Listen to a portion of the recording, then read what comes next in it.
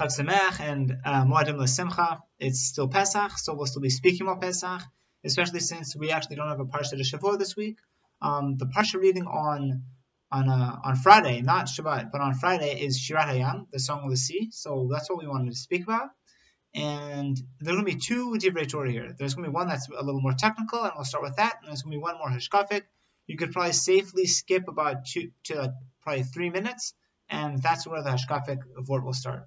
Okay, so let's get right into it. Uh, we are in uh, Beshalach, that's in Shmot, so chapter 14, verse 22. Uh, this is based on a Torah I heard from Rav Breitowitz, uh, and uh, hopefully you'll enjoy it as much as I enjoyed it. Okay, so chapter 14, verse 22. So what happened here is uh, Moshe just raised his arm, a wind blew, split the sea, and, and the Jews start to cross. Now the specific verse says this. V'nei Israel betochayam. So Bnei Israel went into the sea on dry land. V'hamayim lahem choma miminam umismalam. And the water was a wall from them on the right and to the left. Okay, fine.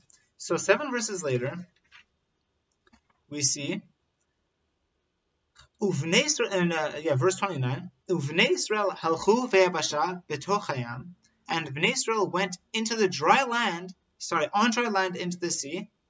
And the water there was a choma, a wall, from the one on the right and to the left. Now the Vilna Gaon points out at least two difficulties with these two verses, because they seem to be saying the same thing, but there are two key differences. First, in verse 22, we see that they went into the sea on dry land. And the second one we say onto dry land or in dry land into the sea.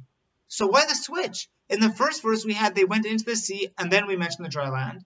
And is the second one we say they went onto dry land and it was in the sea. So why do we have this change? And moreover, in verse 22, the word choma is spelled with a vav.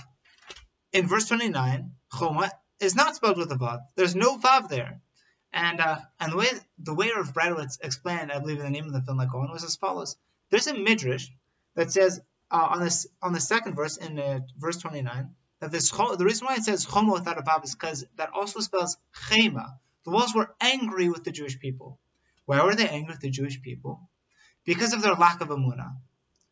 Now, what does this mean?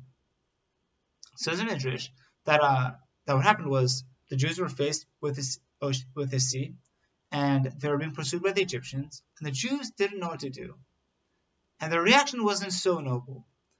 Um, and this didn't speak favorably to them. But finally, Nachshon ben, uh, Nachshon ben uh, uh, Aminadav, who is the Nasi of the tribe of Yehuda, and some say he was accompanied by the whole tribe of Benjamin, but Nachshon uh, ben Aminadav, for sure, according to all opinions, leapt into the uh, leapt into the sea and kept walking until the sea reached his chin or I think his nose maybe. And at that, and he was like, I don't care. I'm going through. I'm walking into the sea. I have the moon and God. God's going to save us. And at that point, the, the sea split. It was amazing. And then afterwards, the Jewish people followed him in. Um, and that's why, and that's why the wall was angry. They were angry at the Jewish people. The walls of the sea were angry at the Jewish people because their, their lack of emunah. They didn't do what Nachshon ben Aminadav did. And the Vilna Gaon points out that that's exactly what we see in the Psukim. But notice how sensitive the Vilna Gaon is. So in chapter in verse 22 we have Vayvov Israel betochayam into the sea, Vayvasha on dry land. That was Nachshon eh, ben Aminadav. That was the first stage. And there choma is spelled with the vav because the walls weren't angry. Why would they be angry at Nachshon ben Aminadav? After all, he showed his moon and God. As opposed to verse 29, we have Israel halchu Vayvasha. They walked into the into dry land, betochayam in the sea.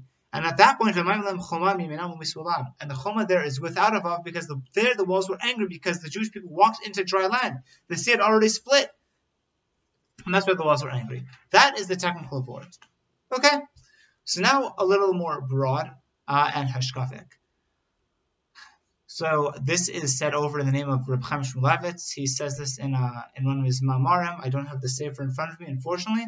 But he says this, and this is quoted or mentioned uh, something I see in ArtScroll, was there's a Mechilta that says that the splitting of the sea was of just like an awesome miracle.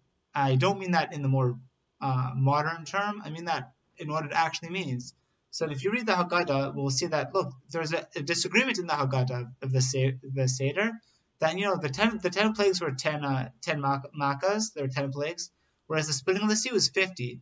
And there's a different calculation. Well, no, maybe the plagues were actually forty makas, with making the, the splitting of the sea two hundred, or fifty makas and two hundred and fifty. The point is, the splitting of the sea was much was categorically greater than the ten plagues.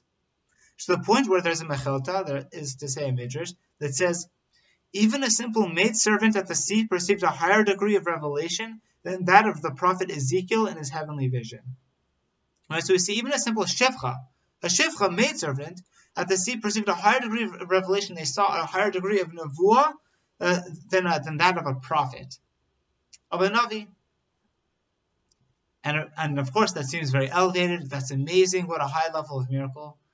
But Reb Chaim Shmulevitz points, points something out that uh, most people don't notice. I certainly didn't notice that. Was listen to the lashon of the Mechilta. After all, what does he call the person who it at the sea? calls him a shivcha, or her a shivcha, a maidservant. What does the, the Mechilta call the Navi later on? calls him a Navi, a prophet. And what Rav Chaim says is that is an indicator of how people grow. That is to say, the Shevcha who saw this incredible, I mean, we can't even imagine the level of prophecy that, that she saw. This a miracle that you is beyond description of how great it was. And then what happened to her? Nothing. She remained a Shevcha because at the end of the day, she was given it on the cheap. She didn't earn anything. She didn't work to, to get that level of prophecy. She just she was just given to it as a gift by God, and therefore she remained a shivcha. She remained a maidservant. People who just came to the splitting of the sea and just saw it, then it didn't really do anything for them because they didn't work for it. On the other hand, whether it's true that a Navi had a lower degree of revelation because, I mean, he just wasn't there at the sea. His revelation wasn't as great. But what is he called? He's called a Navi. Because to become a Navi, to become a prophet, you need to work on yourself and like and build yourself and and uh, and internalize what you've learned over years and years and just eventually keep uh, crushing your ego and working on your ego and working on your on your midas and your character traits and your level of humility and your level of learning and understanding and internalizing everything so that you could be called a Navi. And that is the point that Reb Chaim Shmulevitz brings out. That look, it's true that sometimes we get things for free. We see amazing miracles or we, we're given incredible gifts. The question is, just because you get those gifts doesn't mean you'll make anything of yourself. You might just remain a shevcha, you'll stay a maidservant or wherever you are. Whereas if you really want to become something, a Navi, you might you might see less, but you'll make more of yourself. And that's something we see in the uh, in Pesach itself, because Pesach celebrates its Zman Cheruteinu, it's the time of our freedom, and that's important. And the first day is really reveling in our freedom. But what happens right at the beginning of the second day? At the night, we start counting the Omer. Because ultimately, we're supposed to connect that freedom to something greater. And that Omer connects us to Shavuot when you receive the Torah and become God's people fully.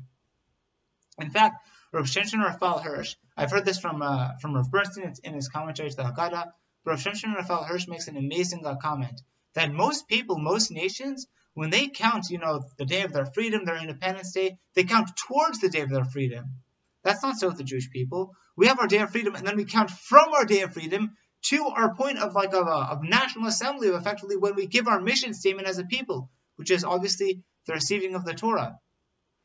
And so we see that that connection that throughout the Omer, we're actually supposed to be working on ourselves, and that's reflected in the Omer itself. In terms of the Omer offering, begins with uh, the coarsest, roughest barley. It's very unrefined. It's animal food, really.